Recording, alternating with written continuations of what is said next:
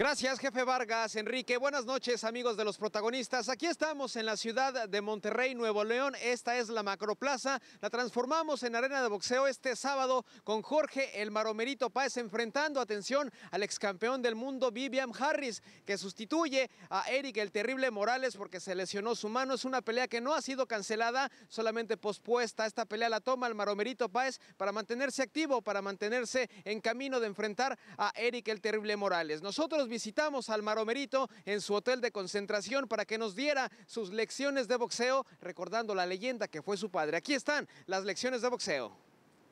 Bueno, pues como todos lo saben, mi padre tenía un estilo muy, muy peculiar, ¿no? Eh, mi papá era, show arriba, aparte de pelear. Entonces, si él empezaba aquí, empezaba a mover su mano, como que movía la mano, movía la mano, movía la mano, y al momento que él me tiras tú el, jab y yo, ¡pum!, cruzo. No, esta usaba como para distraerlo. Como para distraerlo Y, y, agarraba con la izquierda y al momento que él agarraba como que agarraba todo el swing, ¡pum!, cruzo. ¿Y eh, qué tienes preparado para, para Harris? ¿Alguna de estas? ¿Algo en especial?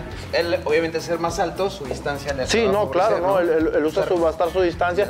Yo moviendo la cintura, moviendo la cintura. Y al momento que yo tenga tiempo, metérmele y pegarle a las zonas blancas, que va a ser fundamental para mí, ¿no? Exactamente. Lecciones de boxeo con Jorge Maromerito Páez. Porque un campeón nunca tira la toalla. Tecate patrocinador oficial, evita el exceso.